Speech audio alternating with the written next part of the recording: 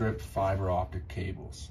Now, I've got three cables here. One is a 48, and then two of them are 144 cables. Um, as for stripping these, how much we will need is five feet because these are loose tube fiber cables. So, I've already taken it from the end here and marked it out five feet in a ring cut. Now, there's a few ways of opening these cables.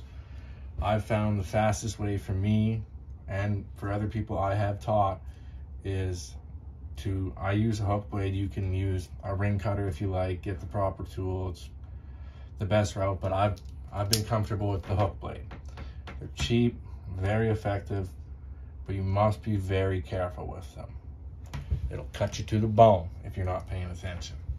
Now, we'll start with the 48 cable, the smallest one. All I'm doing is literally, I'm going to make a ring cut mark around here of five, six inches. So it's as simple as making your ring cut. Once you can feel you've gotten through the plastic coating and you can feel some metal, you'll be able to tell. You can go ahead, bend it over a bit. I like to use a circular motion like so.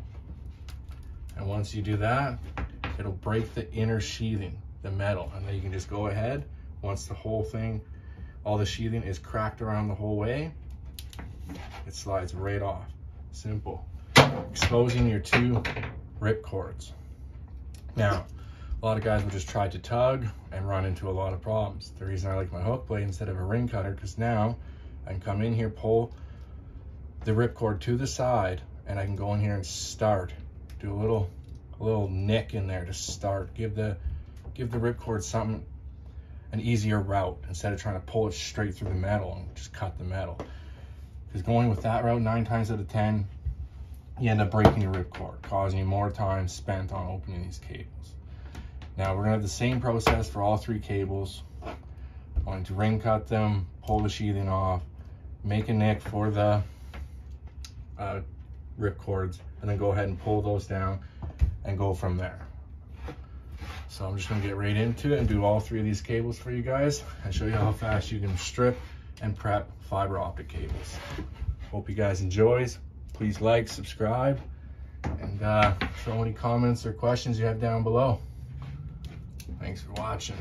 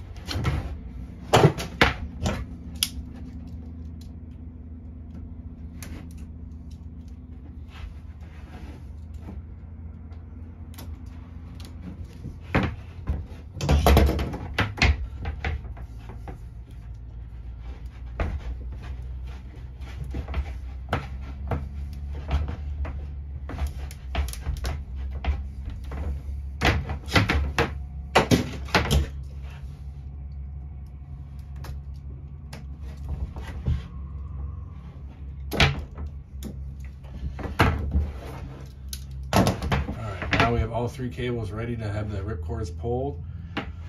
Go ahead and throw a glove on, something to protect your fingers. The, non, the cut proof gloves is the best route to go because that's how strong these rip cords are that they will even cut the cut proof gloves. So pay attention, get a firm grip on it, grab it like that, grab a few, finger around a few times, put some leverage on it, and then pull with the cable. Don't keep pulling off to the side or this way. Wherever the rip cord is started and it's on that side, think about the path it's gonna take and you have to follow that same path. As soon as you get off of it, you'll end up breaking your rip cord.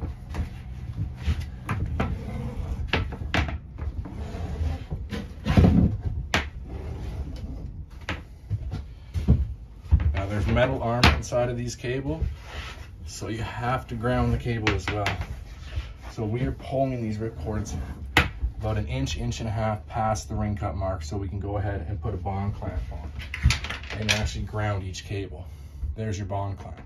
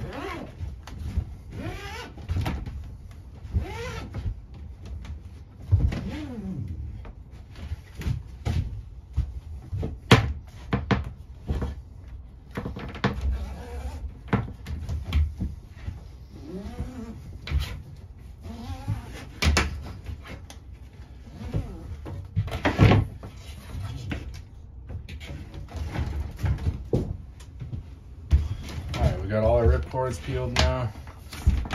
Peel the cable out, as you can see. There's the plastic sheathing and the metal sheathing in there. You're gonna wanna cut all that off.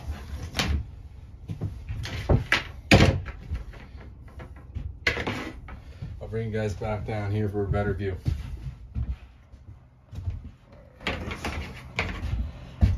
Snip off the outer sheathings.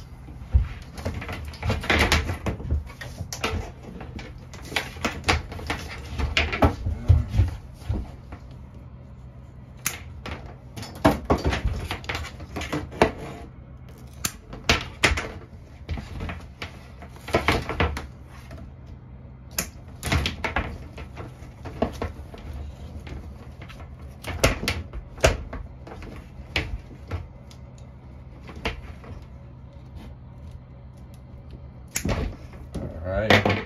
You can get that out of your way. Be careful, this is very sharp sheathing. Should be wearing gloves. My hands are like leather from 10 years of doing this.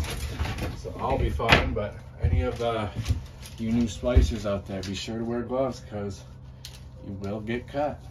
All right, so now we got that. Just to get this uh, moisture tape bundle off, you just go ahead, be very gentle, just only get under it, watch your tubes, don't grab a tube and slice a tube. Once you get all four of the strings cut, or moisture tape, whatever you wanna, whatever acronym you guys wanna use. All right, simple as that, slide them off. Come back in, clean these up a bit. Uh,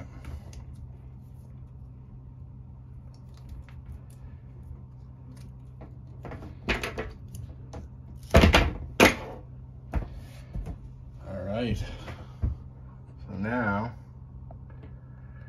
we can undo the helix here in order to do this. Find the first flat spot in front of your ring cut. Just twist the same way it's rolling. Hold in the same position until it gets to there. Go to the next one, do it again.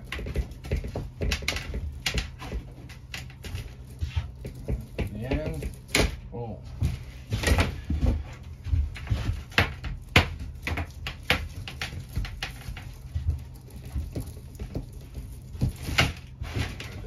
Ones. You can clean them up right quick. There'll be another little moisture string in there you can get rid of.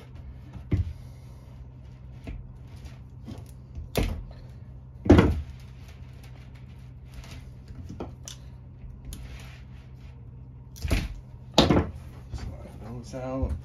Get your strength members. Separate it. Go ahead and snip those. Five, six inches, all you'll need. There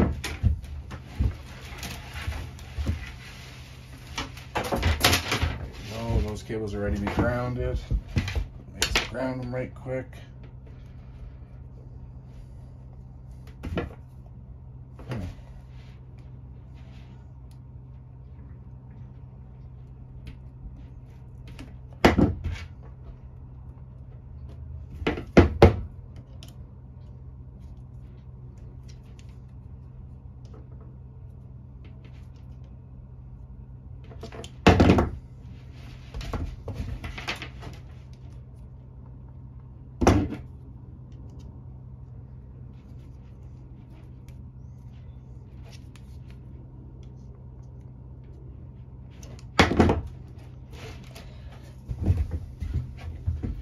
tape.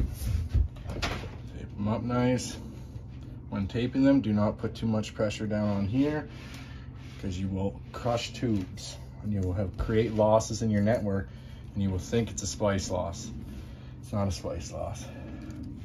It's a crushed tube because you crank the ground on with the tape too tight and it's flattened the tube out. Now, if you're lucky and you find that loss, and the fiber's not broken from flattening tube so much, you can come in here with a small pair of needle nose pliers and you can pinch that tube back open and your loss will go away as long as you don't have any broken fibers from it. But I have done it and it has worked before. So just a little tip. All right, so one more cable here. All right, we need to do a little ring cut on it start on the end. Here's a little ring cutter tool. it. Mostly use this for drops, but use it on here too. I'm gonna pop that off. Got a little rip cord on the inside, red one. Don't need a glove for this one. Just only going through the plastic. Then I like to do another little ring cut down here. Make sure your blade's adjusted accordingly so you don't cut your fibers. Pull the ring cord down past that mark rip cord, ring cord, whatever you want to call it.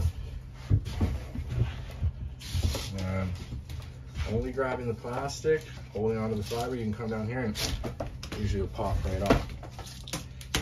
All right. Clean this up right quick.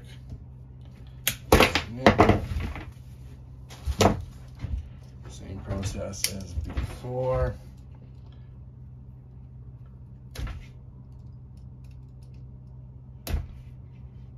The last one.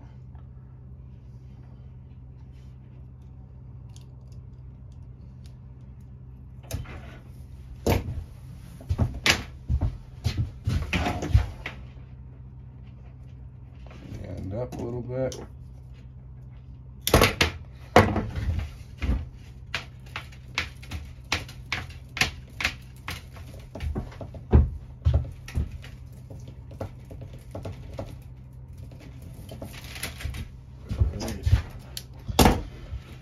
So since this is a 48 fiber cable, you're gonna have two dead tubes in here that are just plastic, two white ones.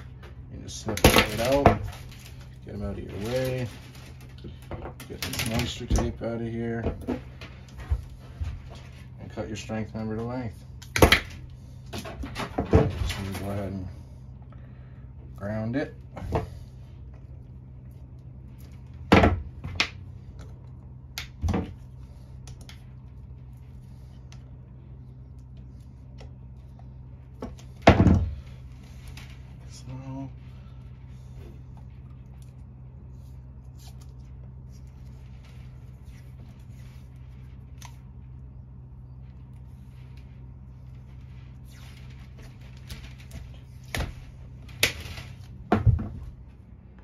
And there you guys go.